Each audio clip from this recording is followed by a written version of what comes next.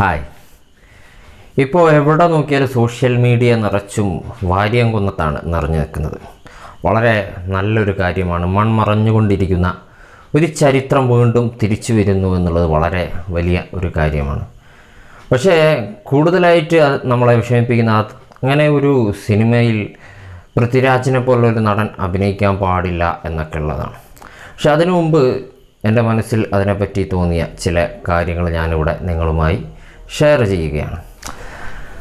ഒരു കലാകാരന്റെ സ്വാതന്ത്ര്യം എന്നുള്ളത് ഇവിടെ ഏറ്റവും വിലപ്പെട്ട ഒരു വിഷയമാണ്. അവിടെ ആ നടനേക്കാളും ഇവിടെ എന്റെ മനസ്സിലേക്ക് കടന്നു വരുന്ന ആദ്യം വടക്കൻ വീരഗാഥ എന്ന് പറയുന്ന സിനിമയാണ്. അതുവരെ എല്ലാവരും പറഞ്ഞു കേട്ടിട്ടുള്ള ചതിയനായ ചന്തു എന്ന് മാറിയിട്ട് അവിടെ എം ടി വാസുദേവൻ നായർക്ക് അതിനൊരു വേറിട്ട വീക്ഷ വീക്ഷണത്തിലേക്ക് കൊണ്ടുവരാൻ വേണ്ടി പറ്റുള്ളത്. അവിടെ അദ്ദേഹത്തിന് ഒരു കലാകാരന്റേതായിട്ടുള്ള ഒരു സ്വാതന്ത്ര്യം ലഭിച്ചിട്ടുള്ളത് കൊണ്ടാണ്. അവിടെ ആരും ആരോമലിന് വേണ്ടിയോ ഉണ്ണിയാർച്ചയ്ക്ക് വേണ്ടിയോ ഒന്നും അവിടെ ശബ്ദിച്ചതായിട്ട് ഞാൻ കേട്ടിട്ടില്ല. നമ്മളിതുവരെ കേട്ടിട്ടില്ല എന്താണ് ചന്തുവിനെ ചതിയനായിട്ട് തന്നെ നിലനിർത്തണം എന്നുള്ളത്. അപ്പോൾ ഒരു കല എന്ന് പറയുന്ന ഒരു ഫിക്ഷനാണ് അതിൽ ചരിത്രമുണ്ടെങ്കിൽ കൂടി ആ രചയിതാവ് അല്ലെങ്കിൽ അതിന്റെ സൃഷ്ടാവ് അതിൽ അയാളതായ കുറേ കാഴ്ചപ്പാടുകളും കാര്യങ്ങളൊക്കെ ഉൾക്കൊള്ളിക്കും. അതുപോലെ തന്നെയാണ് പഴശ്ശിരാജയെ പറ്റിയിട്ടാണെങ്കിലും ടിപ്പു സുൽത്താനെ പറ്റിയിട്ടൊക്കെ വന്നിട്ടുള്ള സിനിമകളും നോവലുകളും ഒക്കെ ശ്രദ്ധിച്ചാൽ മനസ്സിലാവും.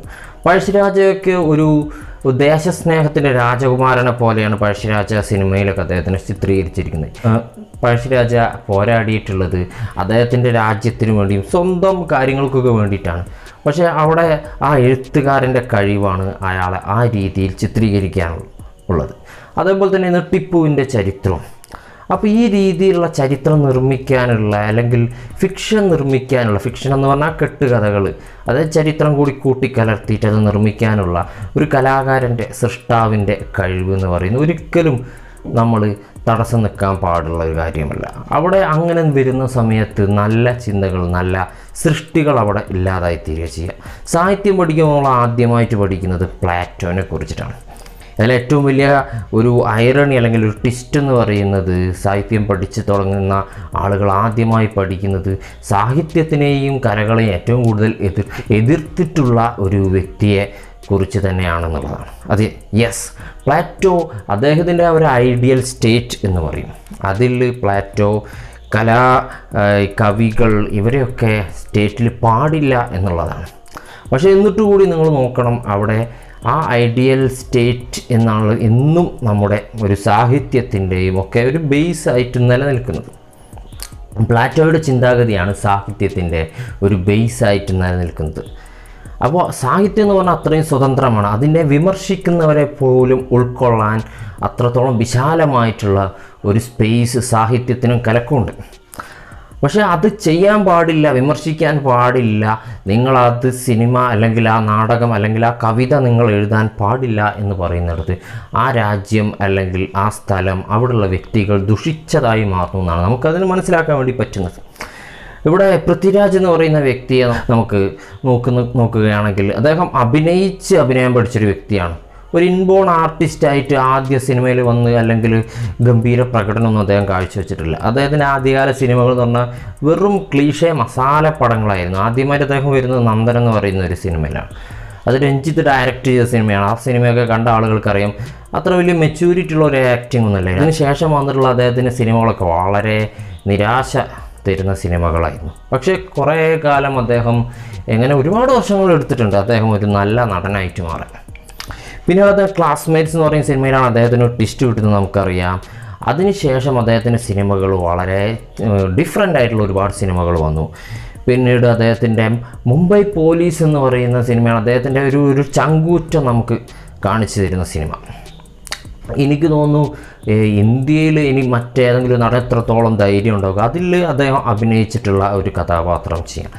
അങ്ങനെ അദ്ദേഹം ഇന്നിപ്പം ഇന്ത്യൻ സിനിമയിൽ തന്നെ ഏറ്റവും സെലക്റ്റീവ് ആയിട്ടുള്ള ഒരു ആക്ടേഴ്സിൽ ഒരാളാണ്. അതിൽ അദ്ദേഹത്തിന്റെ ഒരു ധൈര്യം കൂടി ഏത് കഥാപാത്രവും ഏറ്റെടുക്കാനുള്ള ഒരു ധൈര്യം കൂടി ഉണ്ട്. ഒരു കഥാപാത്രത്തിന് അദ്ദേഹം ഏറ്റെടുക്കുന്നത് അദ്ദേഹത്ത് അദ്ദേഹം ആ കഥാപാത്രത്തിന്റെ ജാതിയോ മതമൊന്നും നോക്കിയിട്ടില്ല. അതിലുള്ള ചരിത്ര പ്രാധാന്യം അല്ലെങ്കിൽ അതിനെന്തെങ്കിലും പ്രത്യേകതകളുണ്ടോ എന്നൊക്കെ നോക്കിയിട്ടാണ്. അതിന് ഏറ്റവും നല്ല ഉദാഹരണമായിരുന്നു എന്ന് സ്വന്തം മൊയ്തീൻ എന്ന അദ്ദേഹത്തിന്റെ കഥാപാത്രം. അപ്പോൾ വേറിട്ട കാഴ്ചപ്പാട് കൂടി കാണാൻ കഴിവുള്ള സംവിധായകന്മാരെ കണ്ടെത്തുമ്പോഴാണ് അല്ലെങ്കിൽ രചയിതാക്കളെ കണ്ടെത്തുമ്പോഴാണ് അവിടെ സിനിമകൾ വിജയിക്കുന്നത് അല്ലെങ്കിൽ സാഹിത്യം വിജയിക്കുന്നത്. അന്ന് വരെ ചതിയനായിട്ടുള്ള ചന്തുവിന്റെ കഥാപാത്രത്തിനെ മറ്റൊരു കാഴ്ചപ്പാട് കൂടി കണ്ടു. അതുപോലെ തന്നെ ഈ വാര്യം കുന്നത്തിന് ചിലപ്പം നമ്മുടെ എഴുത്തുകാർ നാല് സംവിധായകരാണ് ഈ സിനിമ ഏറ്റെടുക്കുന്നതെന്ന് പറയുന്നത്. ഒന്നാമത്തെ സംവിധായകൻ ആഷിഖ് കപു ആണ് ആഷിഖ് കപൂവിന്റെ സിനിമകൾ എന്ന് പറഞ്ഞാൽ കുറച്ച് സ്റ്റൈലിഷ് ആയിട്ടുള്ള കുറച്ചുകൂടി ഫെമിനിസ്റ്റ് ആയിട്ടുള്ള കാഴ്ചപ്പാടുകൾ മുന്നോട്ട് വെക്കുന്ന സിനിമകളാണ് അദ്ദേഹത്തിന്റെ. അദ്ദേഹത്തിന്റെ ലൈഫ് സ്റ്റൈലുമായ രീതിയിൽ തന്നെയാണ് വളരെ മാതൃകാപരമായ വിവാഹമൊക്കെ കഴിച്ചിട്ട് വളരെ സിമ്പിളായിട്ട് ജീവിതമൊക്കെ ഇങ്ങനെ മുന്നോട്ട് കൊണ്ടുപോകുന്ന ഒരു വ്യക്തിയാണ് അദ്ദേഹം. അദ്ദേഹത്തിന്റെ സിനിമകൾ മായാനദി വളരെയധികം ഫെമിനിസ്റ്റ് ആയിട്ടുള്ള ഫെമിനിസം ഏറ്റവും കൂടുതൽ നല്ല രീതിയിൽ മലയാളത്തിൽ ഇന്ന് കൈകാര്യം ചെയ്യുന്ന ഒരു സംവിധായകനാണ് അദ്ദേഹം. രണ്ടാമത്തെ വ്യക്തി എന്ന് പറയുന്നത് പി ടി കുഞ്ഞുമുഹമ്മദാണ് ഘർഷവും പോലുള്ള സിനിമ എടുത്തിട്ട് അദ്ദേഹം എന്താണ് അത്രയും പ്രശംസയൊക്കെ അതായത് പ്രവാസികളുടെ ആ വേദന ഏറ്റവും നന്നായിട്ട് പറഞ്ഞിട്ടുള്ളൊരു സിനിമയാണ് ഘർഷവും അദ്ദേഹത്തിന്റെ മറ്റു സിനിമകളുണ്ട് പക്ഷേ പെട്ടെന്ന് എന്റെ മനസ്സിലേക്ക് വരുന്നത് എനിക്ക് ഏറ്റവും കൂടുതൽ ഇഷ്ടം തോന്നിയിട്ടുള്ള ഒരു സിനിമ കർഷമാണ് അതിനുശേഷം വന്ന സിനിമകളൊന്നും അത്രത്തോളം ഒരു പെർഫെക്റ്റായിട്ട് തോന്നിയിട്ടില്ല. ഇനി മൂന്നാമത്തേത് നാടകവേദിയിൽ ഒരുപാട് കാലം പയറ്റി തെളിഞ്ഞിട്ടുള്ള ഇബ്രാഹിം മേങ്ങരയാണ് അദ്ദേഹമാണ് മൂന്നാമത്തേത്. ഇതിൽ നാലാമത്തതാണ് ഏറ്റവും കൗതുകകരമായ ഫാക്റ്റ് ഈ മൂന്നിനോടും തികച്ചും യോജിക്കാത്ത ഒരു രാഷ്ട്രീയം മുന്നോട്ട് വെക്കുന്ന ഒരു വ്യക്തിയാണ് അതെടുക്കുന്നത്. പക്ഷേ മലയാളത്തിൽ ഒരുപാട് സക്സസ് ആയിട്ടുള്ള സിനിമകൾ അദ്ദേഹം എടുത്തിട്ടുള്ളത് അലി അക്ബറാണ് സംവിധാനം ചെയ്യുന്നത്. അദ്ദേഹം കഴിഞ്ഞ തെരഞ്ഞെടുപ്പിൽ ബി ജെ പിയുടെയൊക്കെ സ്ഥാനാർത്ഥിയായിരുന്നു. പക്ഷേ അതൊന്നും ഒരു കുഴപ്പമല്ല നമുക്ക് ഓരോ വ്യക്തികൾക്കും ഓരോ കാഴ്ചപ്പാടുണ്ടാകുമ്പോഴാണ് അവിടെ യഥാർത്ഥത്തിൽ നല്ല ഒരു ഒരു കലയുടേതായിട്ടുള്ള ഒരു സ്വാതന്ത്ര്യം. നമ്മൾ കാഴ്ചക്കാരായിട്ട് കാഴ്ചക്കാർക്ക് കാണികൾക്കൊക്കെ ഒരു നല്ല കാഴ്ച അനുഭവം ലഭിക്കുന്നത്. പക്ഷേ ഞാൻ പറയുന്നത് മാത്രമാണ് ശരിയെന്ന് പറയുന്ന ഒരു ഒരു മുസോളിനി ചിന്താഗതി മുസോളിനിയുടെ ചിന്താഗതി എന്ന് പറയുമ്പോൾ ഫാസിസ്റ്റ് ചിന്താഗതി മാത്രമായിട്ടാണ് അത് മാറുന്നത്. പക്ഷെ അവിടെയാണ് എല്ലാ പ്രശ്നങ്ങളും സ്റ്റാർട്ട് ചെയ്യുന്നത്. അങ്ങനെ ഒരു ചിന്താഗതി മുന്നോട്ട് വരുന്ന സമയത്ത് പുതിയ ചിന്തകൾ ഉണ്ടാകില്ല. നമ്മളൊരു അടഞ്ഞ ചിന്തയിലേക്ക് മാറിക്കൊണ്ടിരിക്കും ആ ഒരു ഘട്ടത്തിലേക്ക് നമ്മുടെ രാജ്യം കുറേയൊക്കെ ഇങ്ങനെ മാറിക്കൊണ്ടിരിക്കുന്ന ഒരു സമയമാണിത്. ചില സത്യങ്ങൾ മാത്രമാണ് ശരി ഞങ്ങൾ പറയുന്നത് മാത്രമാണ് ശരി മറ്റു പറഞ്ഞുള്ളവർ പറയുന്നത് ശരിയല്ല. ഞങ്ങൾക്ക് മാത്രമാണ് ശരിയായ രാജ്യത്തിനോട് സ്നേഹം ഉള്ളത്. ഞങ്ങൾ പറയുന്ന കാര്യങ്ങൾ മാത്രം ശരിയെന്നുള്ള ഒരു ഐഡിയോളജി വളരെ നിന്ദിക്കേണ്ടത് തന്നെയാണ്. എല്ലാവർക്കും അവരുടേതായിട്ടുള്ള രീതിയിൽ ചിന്തിക്കാനുള്ള സ്വാതന്ത്ര്യം ഉണ്ടാകട്ടെ. അങ്ങനെ നല്ല വ്യത്യസ്തമായ ചിന്തകൾ ഉണ്ടാകട്ടെ. അങ്ങനെ നാല് വ്യത്യസ്തമായ മികച്ച സിനിമകൾ നമുക്ക് ലഭിക്കും എന്ന് പ്രതീക്ഷിക്കുന്നു. ബൈ. ഇഷ്ടപ്പെട്ടാൽ ചാനൽ സബ്സ്ക്രൈബ് ചെയ്യുക ലൈക്ക് ചെയ്യുക ബെൽ ബട്ടൺ അമർത്തുക. ബൈ.